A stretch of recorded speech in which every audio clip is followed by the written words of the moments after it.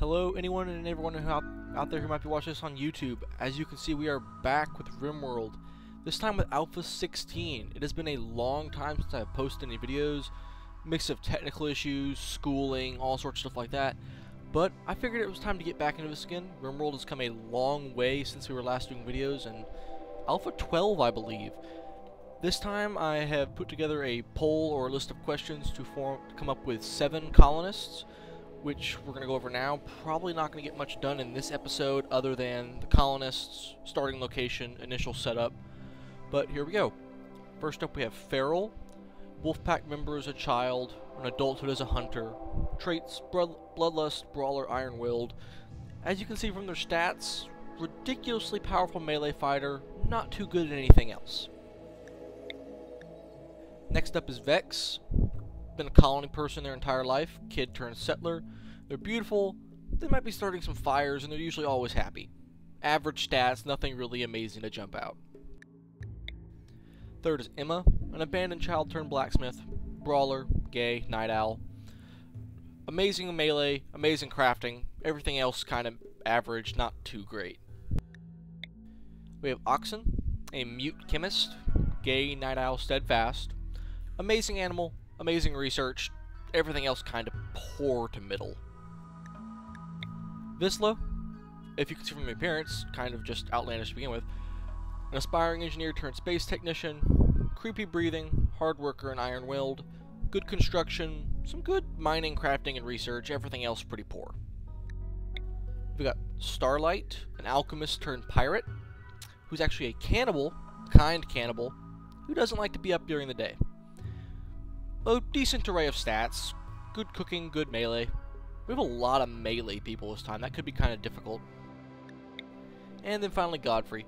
Wild child turn Muffalo shaman. A gay masochist night owl. We've got an interesting combination of people. Another really good melee person. A lot of really high quality, or they have a high passion for learning on some of these stats, but they themselves are kind of low. We've got our starting supplies here. It's a lot more than usual. Again, this was kind of...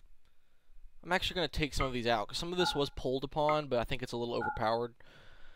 So we've got a lot of food, wood, steel, silver, components, a mix of weapons, ranged, and melee for our people, and a lot of medicine, because we are starting with seven people. As for a starting location, I've already generated the world and things like that.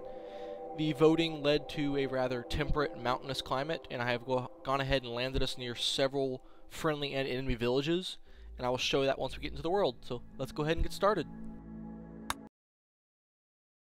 Should just take a minute to load. Sometimes world generation can take a little while. Because recently in Alpha 16, as I will show you in a minute, Tynan has gone a long The three of you awaken in your crypt well, the seven of us awaken in your cryptosleep sarcophagi to the sounds and sirens of ripping metal. You barely get to the escape pods before the ship is torn apart. Sometime later, you land on this unknown rim world. As pieces of shredded starship fall around you, you start making plans to survive. Everyone can go ahead and come on down and land. We'll go ahead and pause it so I can show you the world. This might take a moment to open.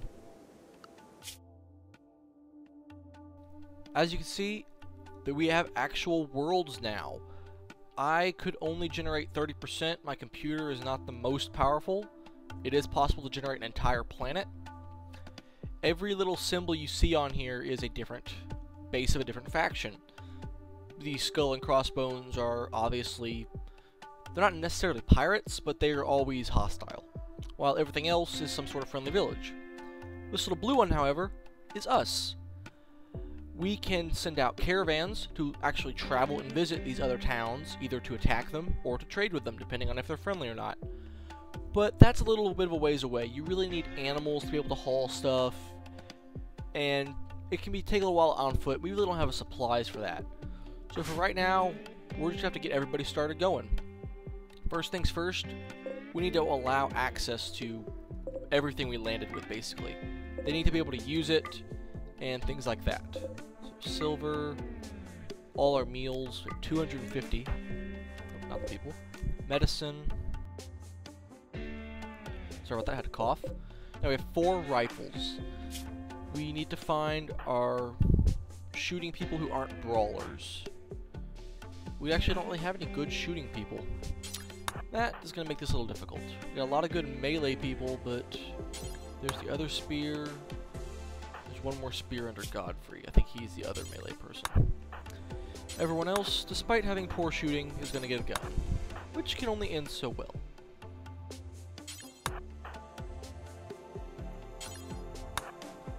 Give them all a moment to run and equip those. Alrighty.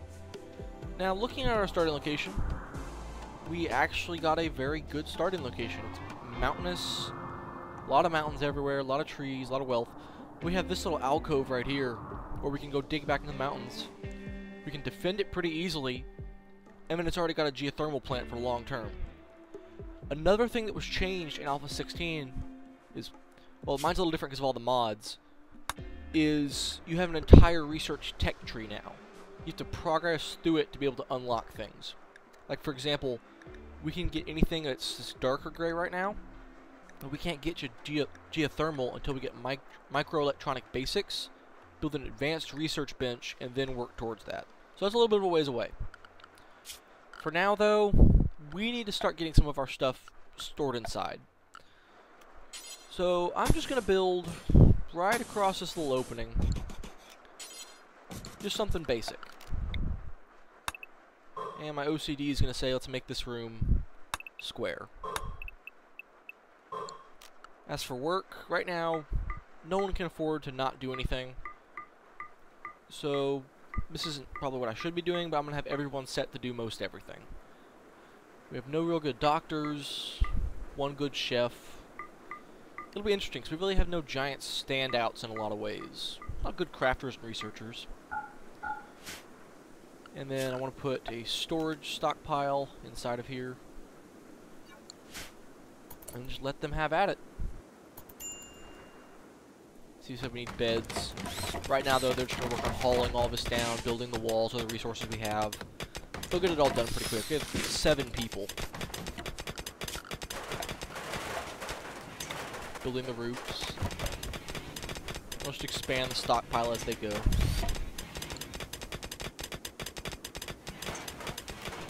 What I will actually do is I'll take construction back off everybody, except, say, three people. I want them to make some beds, and I don't want to be spending a ton of resources on making beds. I'm going to build them outside where we actually have light, and then I can move them inside. That one was a mistake. And they'll get to that in a minute.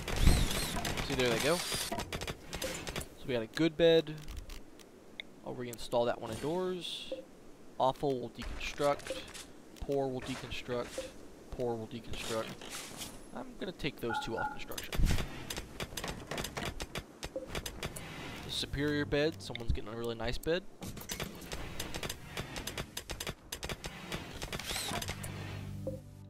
A normal bed, that'll do. I just want at least normal or better. Another normal, that gives us four. Good one gives us five. Another good one gives us six. We need one more bed. Nope, they finished up mining this out, so we'll just go and expand the stockpile and put a dumping stockpile outside. And again, my OCD will say mine these rocks out. Well, yeah. They're all eating some of their food inside.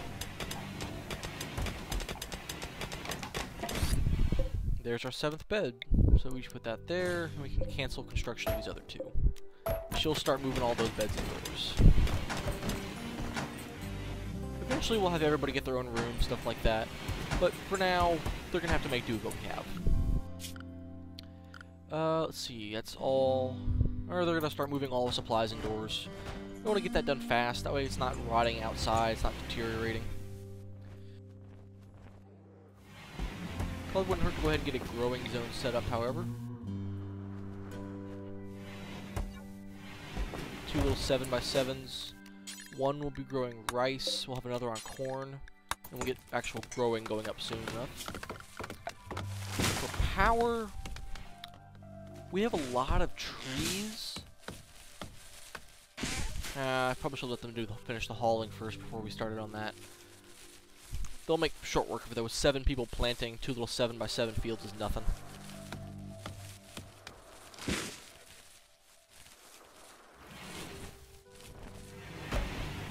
Gonna go pass out for the night.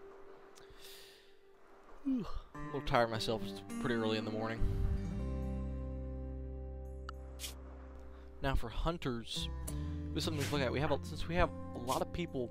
Well, first off, hunting it is calculated between their shooting and their melee. So we want to be careful, really, not to send any of our melee people out to hunt because they could very well die hunting some things. Actually, even though I just said that, I'm gonna make an exception. Anyone who has the brawler trait, I will allow to hunt using melee against small creatures because they get a ridiculous bonus to hit. They're using spears to begin with. So that would be Emma and Feral. So, Feral. See, and it says they're really bad at hunting. Oh. They must have changed hunting recently. It now actually is just based on ranged weapons. It used to be ranged and melee. That is a change I missed. So we need our best shooting person. Oxen's at 3. Starlight's at 6. So Starlight will be our hunter. And it's already defaulted to that. Okay. I mean, we're a little bit of a ways away from needing to hunt. We have a lot of survival meals still. 200, well, 216. Okay, some haven't been hauled in yet. Yeah. Okay, gotta watch out for this warg here. Well, there's a lot of animals for to hunt. Maybe not too much. They're all waking up, heading out to go bring stuff in. That reminds me, because we are new, we should probably build a horseshoe pin. It's just a really easy, light source of joy that people will use all the time. Expand the dumping stockpile, take up that extra space. And I'm actually going to cut these trees back with just a uh, cut plant order. Just get them out of the way so they don't block a door. I'm also going to go ahead and just build some small tables build an actual table. And just a little bench on each side. Like I said, we'll eventually flesh all this out, actual rooms, things like that. Once we start getting people idle, we can start working on everything. Should be having any, mo any moment, really. Yeah, they're doing all their... Yeah. Yep, there they are idle. So for rooms, some people say you gotta make giant rooms. I've never been a fan of giant rooms. I'm literally just gonna make a little 3x3 room for everybody.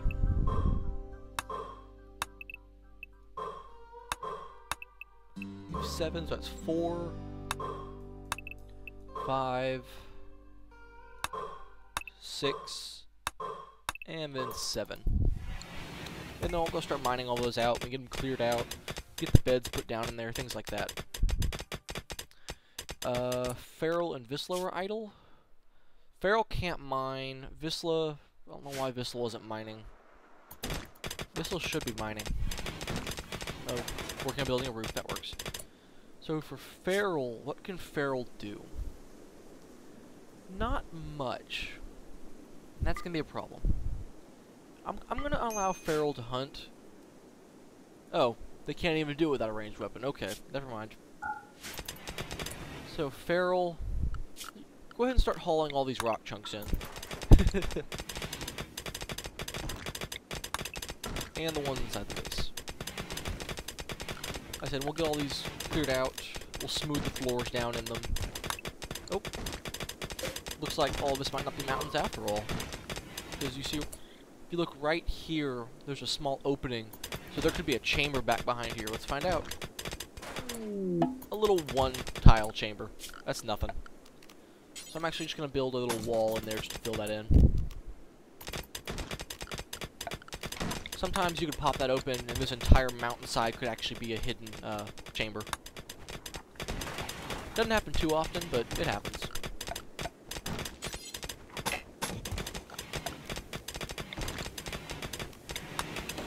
Have them clear all the rubble out as they mine. And I'll work on the last chamber.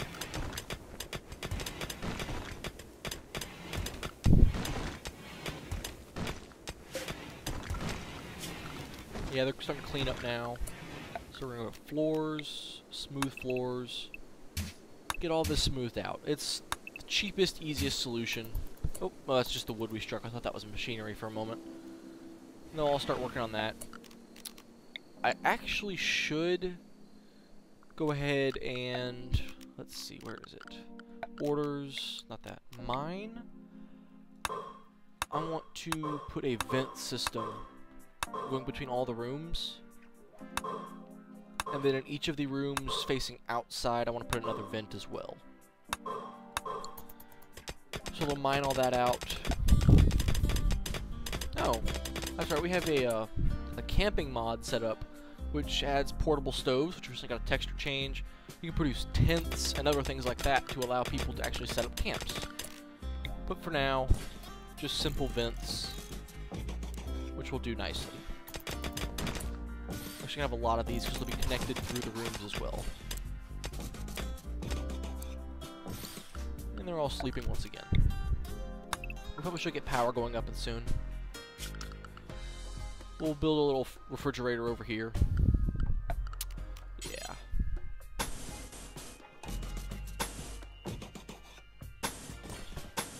Double wallet. And then a little airlock. Won't be the biggest fridge, but it'll do.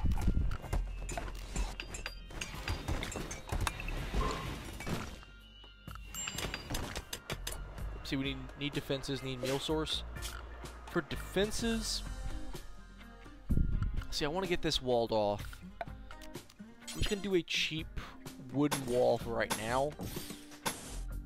It really won't hold anything out, but it'll slow people down. They have to come through this way. And they'll go get to work on that once they're done working on all this. They got their, uh, they got the vents all hooked up. So we want doors, because we're not going for quality here, I'm going to go and put everyone back on construction, or almost everyone. That way we can get all the walls done fast. And we're going to double wall that as well, because this is going to be our fridge. So I want to delete this zone, make it a new stockpile just for food. Food and meals. Uh, raw food and meals, but not packaged meals. Oh, I will need to put probably two freezers in here, so I need to make room for coolers. There there. Power-wise, I'll stick a battery in here. I'll stick two batteries in here. Little power line, power line. As for power, we can do solar. That should be pretty good. We have a nice little location for it. Then, yeah, they built the walls up here. Then for security, right now we really don't have anything other than sandbags. So that'll have to do. So let's put a little sandbag right here. And that should keep us solid for now. And they're hauling out all the stuff that won't fit in here. Also going to go and smooth all the floors inside of here. Just to get that taken care of. Yep, they're building. We still need a meal source, so I'm actually probably build a kitchen up next. Same thing with the floors. There's a power disconnect somewhere. Oh, right. None of these are actually connected together. I forgot the uh, vents don't have a uh, power hookup. So we're charging up the vents. Go ahead and drop these temperatures down pretty low. They'll start to get a little cold, but it'll be alright. Got a rock chunk. And I forgot the door in this section. And then we go ahead and start just putting in the beds. Because we're not actually building the beds, we can actually just reinstall them. And the first person with an open construction job will just move them in. And we'll just stick them all kind of up in the corners. This one I'll place here just because the room's a little different. Yep, I forget what alpha added the feature to reinstall certain pieces of furniture, but it is incredibly nice not having to rebuild everything. Got all our beds moved. I'm actually going to go ahead and put flooring down in this entire section. Yeah, we don't have enough wood for it. So we'll put chop wood orders out everywhere. Get all this kind of just cleared out. And I'll start working on that. So we'll run out of yeah, we'll we out of wood before it was done. But don't worry, they'll they'll go start chopping trees, and the ones that can't chop trees will start working on it. And just like that, wooden floors. Oh, and they're finishing up smoothing. We have a visitor. This is a new event. Well, not new, but it's pretty recent. He is from a friendly tribe, which we actually do need to look at what factions are friendly and what ones are not. But what happens is he arrived, so he's from a friendly village, and he actually has stuff to trade. If we look in his gear, we can see he's carrying a lot of stuff. Most of it's going to be for trade. We'll let him get a little closer before we send someone out to go talk to him, though. Speaking of factions, we have five on this five on this planet. Looks like one Outlander Union, two tribes, two pirates. Unfortunately, it looks like we actually have three hostile factions. One tribe and two pirates. And that one of the tribes is not hostile to the other two friendly factions. So for instance, if we are attacked by the Purple Hill League, both Tibium or Pact of Tucha, I think, won't help us, because they're not hostile to them. Everyone's out there chopping trees, finishing up the floors. Because we actually have power, I'm going to go ahead and install lights. One, two, three, four ought to be good. And I can run some power around to try and reach this one. We might be able to reach it. Probably not. So we'll just run it like that. There we go. So we have all lit. And because I wanted a meal source, I could build a fueled stove. I'm going to build just a plain electric stove, or I will... Are we out of steel already? Wow, we went through that steel. Yeah, we're down to four steel, so we need to find some. Aha, there we go. So we'll just tell them to work on mining us back some. There's also some machinery here we can tell them to work on. And they'll work on that once they're done with everything else. Some more machinery right here. We're not desperate for machinery, but it wouldn't hurt to have it. Oh. Yeah, we've struck compacted machinery. And we have the trader. Our best social person is Godfrey. The better social, better prices we get, things like that. So he's to go run up there and talk to him. He's got some pemmican, some component. No, he wants our components. Some herbal meds and a poor wooden spear. I don't think we want anything from him, so we're not to buy or sell anything.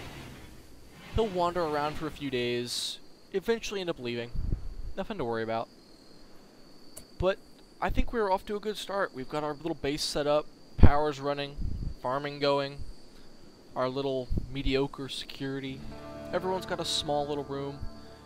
In the next episode, more farms, work on a resource situation, get some actual production going, shore up our defenses, try and get stone cutting and research going. But for now, that's going to be it for this episode. Uh, thanks again for joining me, and hopefully this season will last a pretty good while. Take care.